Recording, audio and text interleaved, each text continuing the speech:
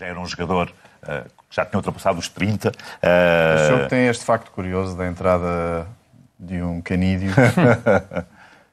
Mas dizia eu que ao final de 10 anos do Benfica, o, o, e já